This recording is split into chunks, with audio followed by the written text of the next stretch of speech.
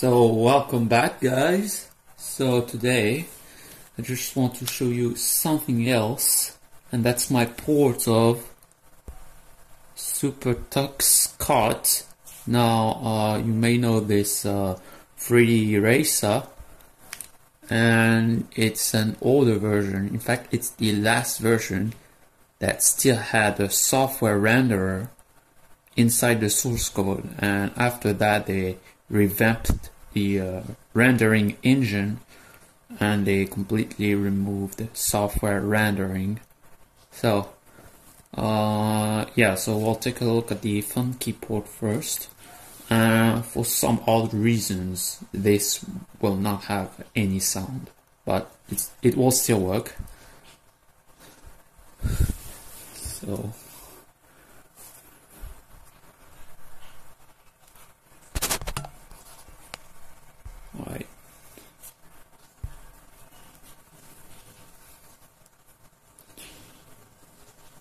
And it does take a while, but after that, it should be uh, mostly okay.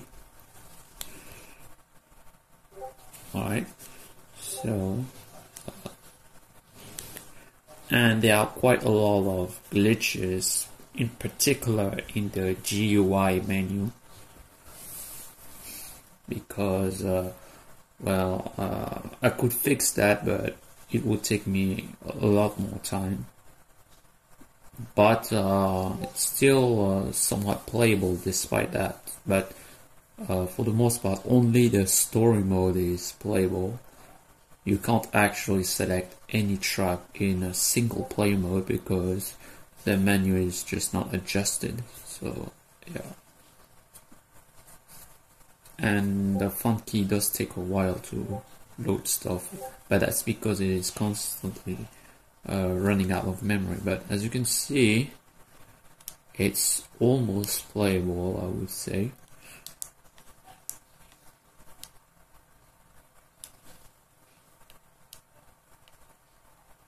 And this is running at the native resolution at 16 uh, BPP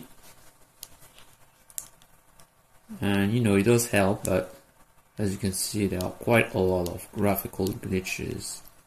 Even with the best settings in the software renderer you will still get glitches like those and like these. But uh, yeah uh, that thing as you, can, uh, as you can see here is well it's an issue with the software renderer.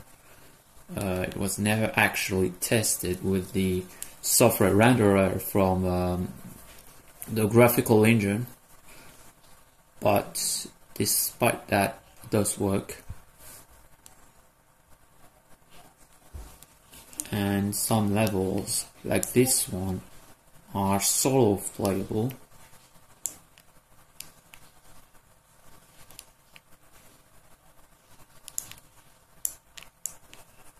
And this game uses OpenAL and I thought that would maybe cause a few performance issues.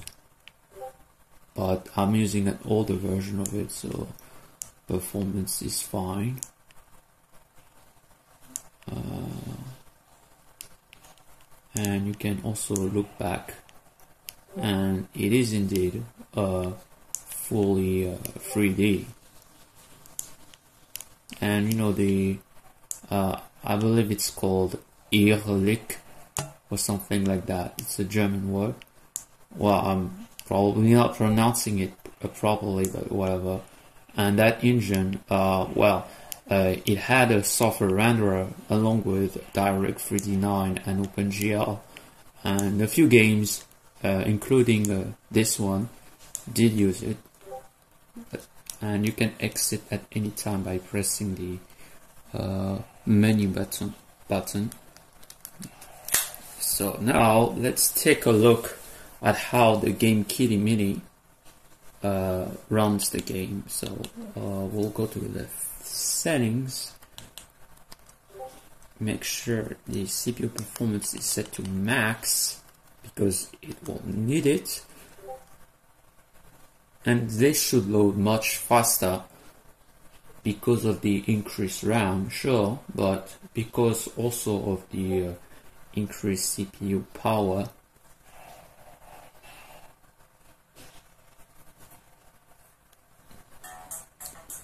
And does have sound.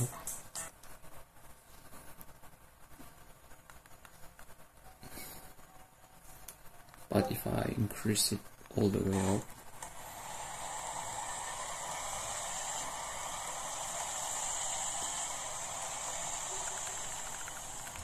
But yeah, um, the GameKiddy Mini uh, runs it quite a fair bit better, but yeah, compared to the Funkey S, it's not that different. In fact, it's quite similar.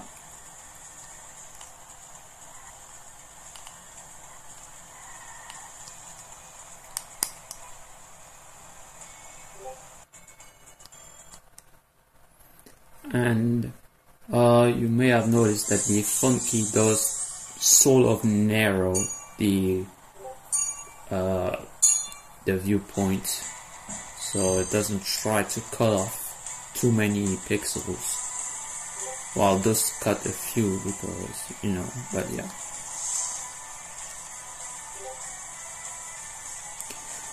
So I believe you won't see any 3D games like this one on the GameCube Mini. At least uh, ones that will have this much detail on screen.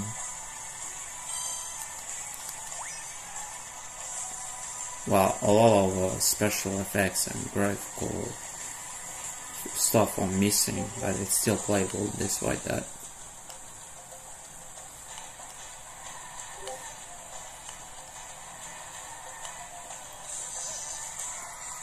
So this was a super tux card and you can again exit with the menu button. And I also just want to show you an updated build of Sonic Robo Blast. And I've had to also fix the OpenDingux version of it and now it should be working properly. In fact, I've tested it even uh, over HDMI and it does work fine now. But I'll show you that uh, in a later video. Just want to show you the GameKiddy version.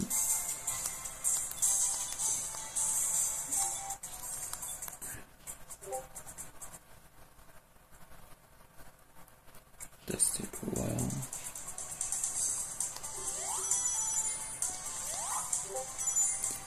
And I I'm not sure, but I believe this build has the frame rate counter still. Uh, hold on. Oh no, uh, doesn't. Only the OpenDingux build uh, has the frame rate counter, and that's because it was a bug that I forgot to fix. But uh, even without the frame rate counter, you can already see that it's running smoothly.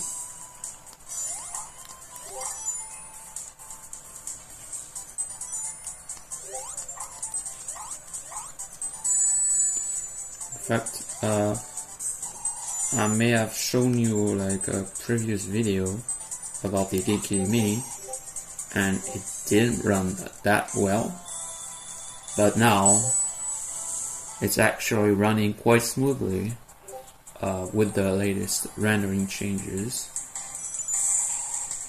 So I can't wait for X-Burst 2, which should be uh, like greatly improved over X-Burst 1. And X-Burst 2 should also have much better multi-threading uh, performance. So that's pretty much it for now. And a SuperTuxKart will come eventually to OpenDingux, but I need to uh, fix the 3D renderer on that version because I won't use the software renderer for uh, devices that have a 3D GPU. It will be pointless but uh, I need to use a GL4ES for that and trying to make it work is a bit of work.